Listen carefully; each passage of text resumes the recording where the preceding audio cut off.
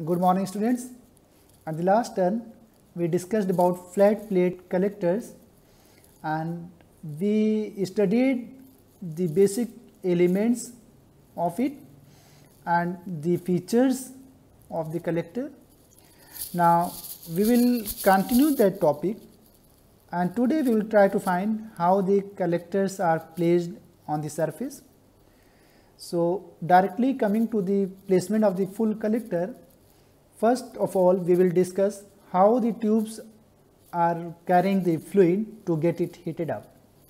So last day we have seen that the basic structure of the flat plate collector was this and in this we have seen that these are the tubes which carry the fluid.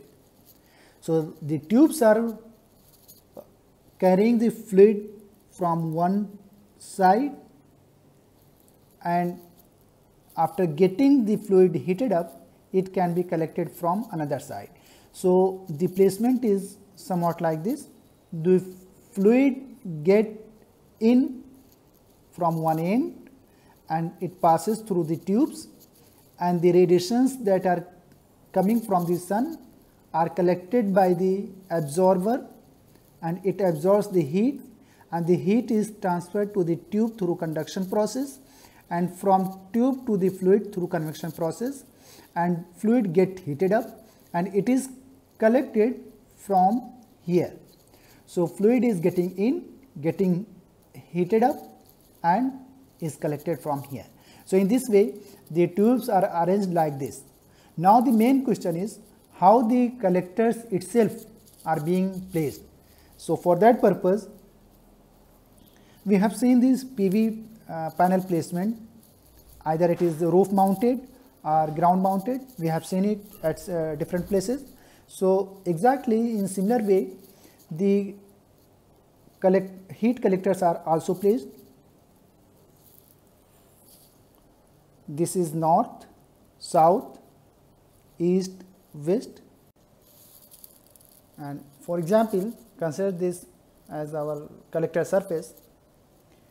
To collect the maximum radiations it is faced towards south if we are in northern hemisphere and it is tilted with an angle beta that is named as inclined angle and that is equal to the latitude of the place where it is being installed. So, if we are facing south with that angle, in that case the beam radiations um, will be at its maximum level. In this way, the collectors are placed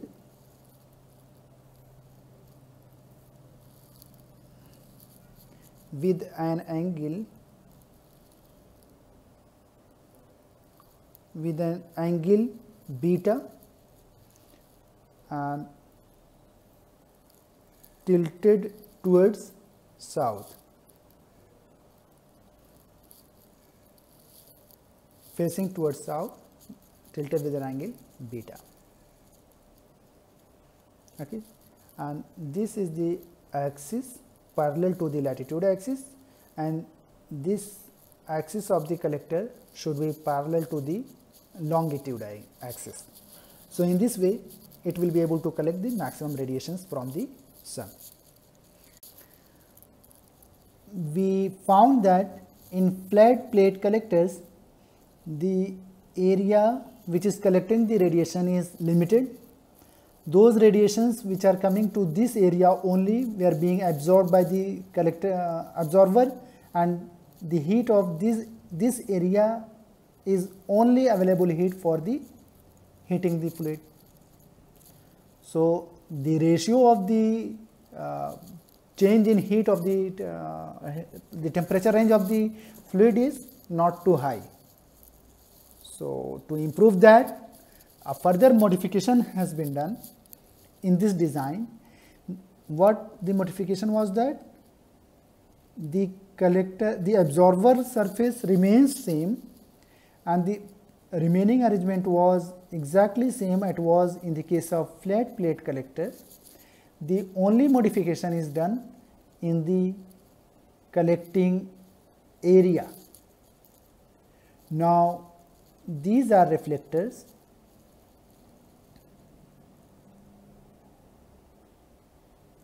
Which reflect all the radiations that are coming to them. And when they are getting the radiations after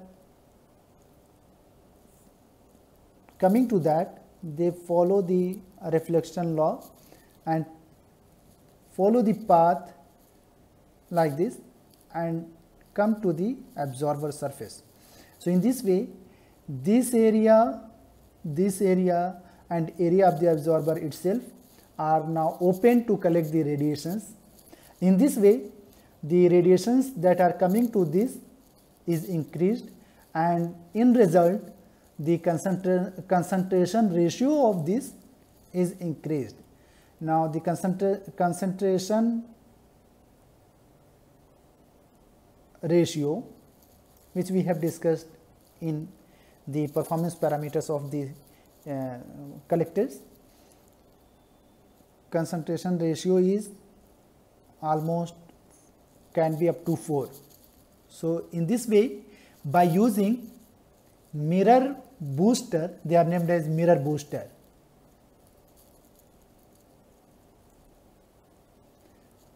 With the help of mirror booster we are able to collect the more radiations and the concentra concentration ratio can be increased up to 4. But there is some problem. What problem can be there?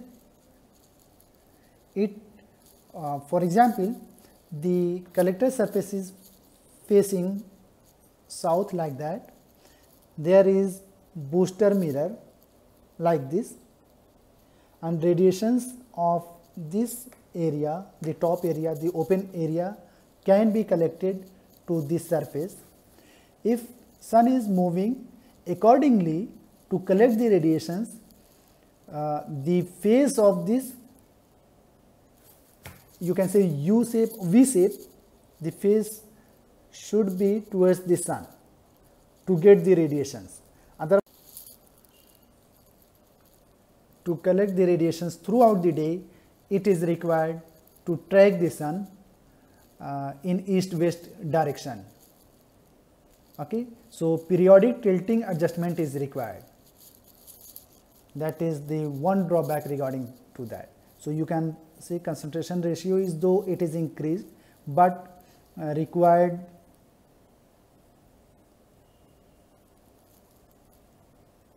periodic tilt adjustment.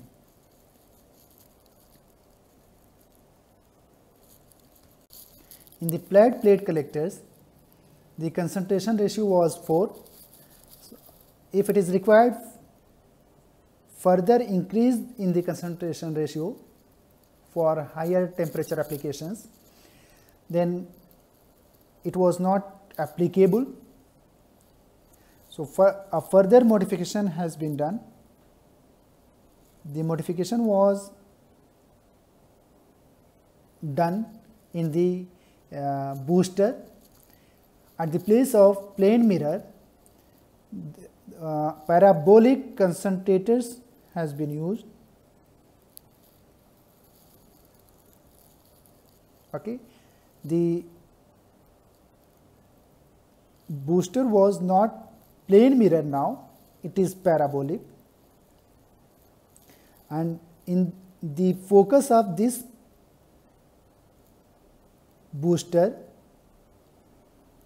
uh, you can say you can name parabola A or booster A The focus of this parabola is somewhat here and the focus of this is here. So,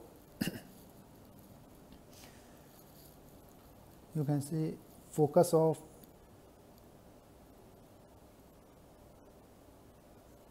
B, this is focus of A. The concentration ratio of modified flat plate collector was not too high, it was still 4 and if it is required to increase for different applications to for, for higher heat applications. Then a further modification in the collector surface uh, in the collector has been done. That is at the place of plane mirror a parabolic uh, booster is used and the booster is attached in such a way the focus the focus of this parabola is this and the focus of this parabola is this. In this way the acceptance angle is increased and the concentration ratio uh, is uh, uh, increased from just only 4 to up to 7.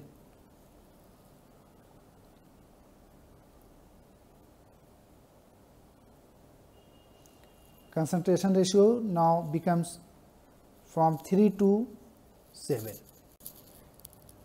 The concentration ratio is 3 to 7. However, unlike the flat plate collectors, here it is required intermittent adjustment.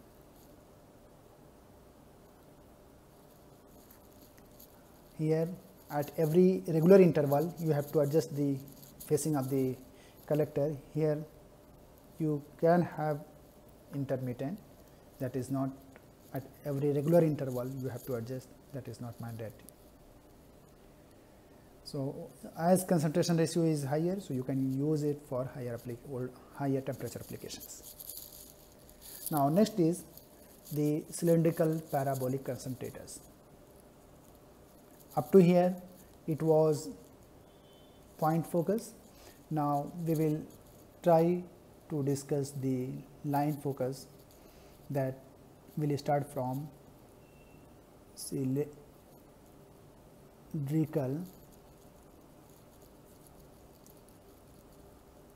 parabolic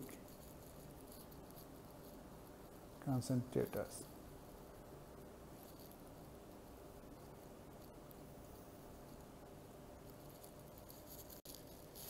In the classifications, we, we have seen that it was concentrating type and non-concentrating type.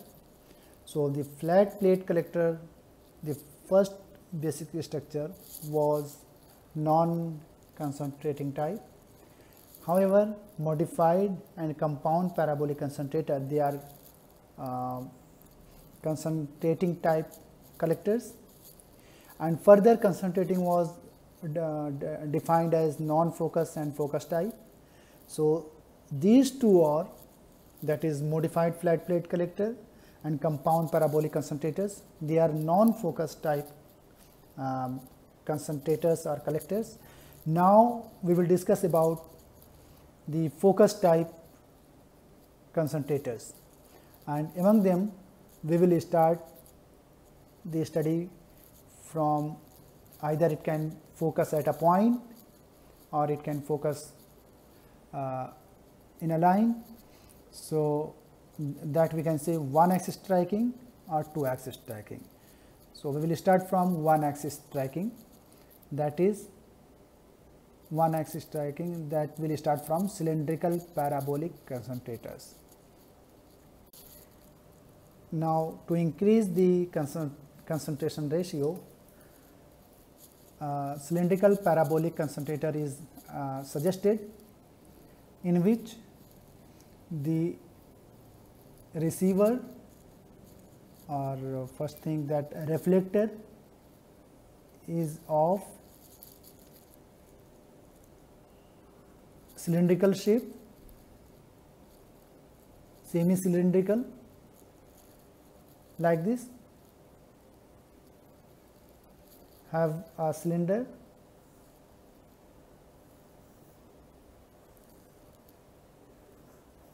Cut it from here. Half of the part is cut out. The remaining half part is placed here. And the axis of this is now the axis of this is now the axis that is passing through the focus of this parabola, the top parabola, passing through the focus of that, focus of another one, another one and in this way a tube is placed which is flowing the fluid placed at the focus of the focus of this parabolic shape. So, in this way the radiations that are coming to the reflector surface. It is reflected and through the focus point and the radiations of large area are reflected through the focus point. And if for full area if the radiations are passed through a single point then the temperature range can be very high.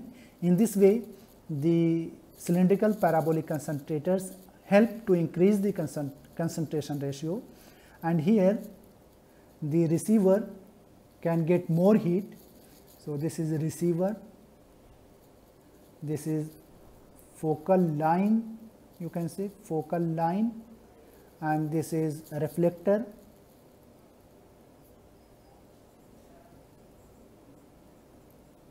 reflector. The first thing is that the concentration ratio can be increased up to 5 to 30 and for further to increase the absorption the collector surface this surface is blackened so that it can get uh, uh, the radiations can get absorbed as our aim is to increase the concentration ratio, at the same time our aim is to maximize the efficiency of the collector. So, for that purpose uh, the tracking is required. The tracking can be possible in two way either one axis tracking or two axis tracking. So, just have a look on one axis and two axis tracking first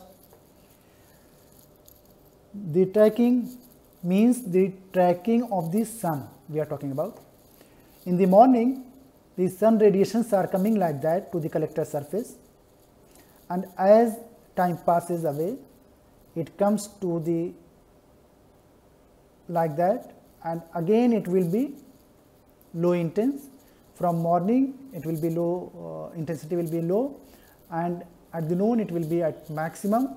If we are facing like this means we are directly south facing then this will happen. But if we change the position of the collector in the uh, from morning to the evening from east to west following the south direction in that way in such a way that the collector surface get the beam radiations at its maximum level. So, direct facing will and in the morning if it will face towards east with the same tilting angle, tilting is not uh, the change. If it is facing to the uh, east, in that case it is getting the beam radiations directly and as time passes away and it is changing its position from east to west facing towards south and facing uh, uh, towards south and changing its position in such a way that it tracks the sun then in that case at the full day from morning to the evening it will get the maximum radiations directly. So, in that way the efficiency of the absorber or efficiency of the collector can be increased as it is facing to the sun full uh, full of the day. So, in that case it is known as single axis tracking if it is tracking the sun from uh, east to west only.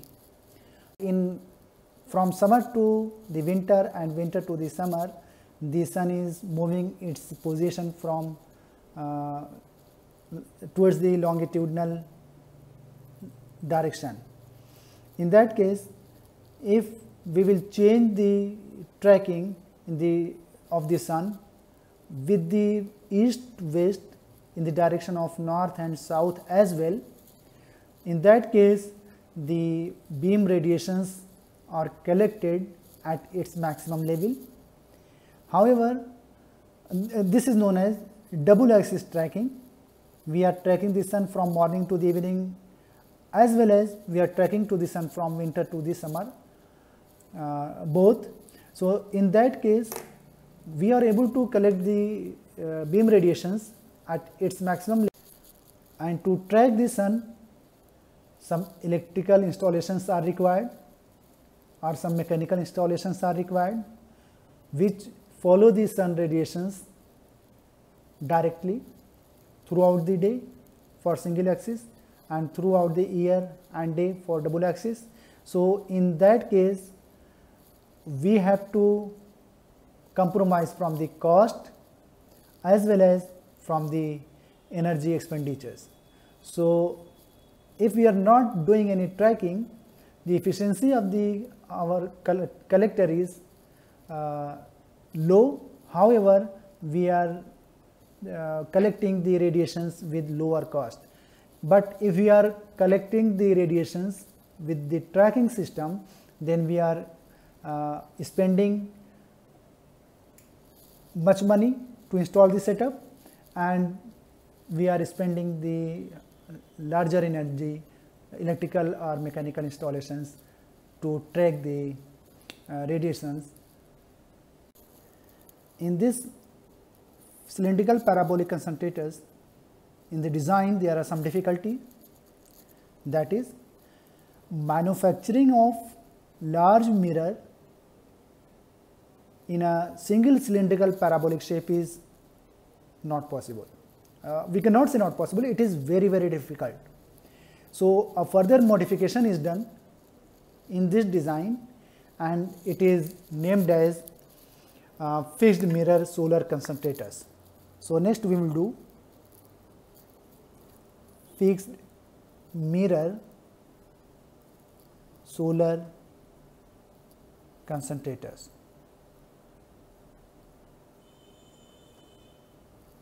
Okay.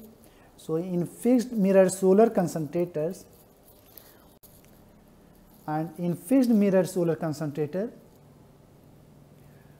at the place of a large single mirror of parabolic shape, a narrow mirror strips are being used. And that is placed at this somewhat like this, this and the narrow mirror strips are placed like this and the radiations that are coming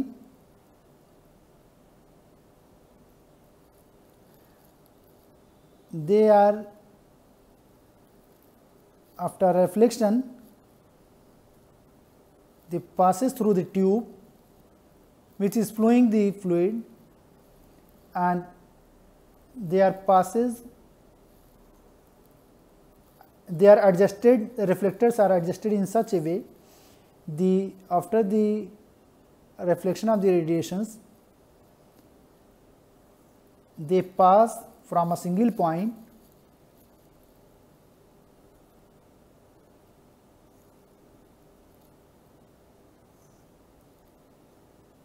like this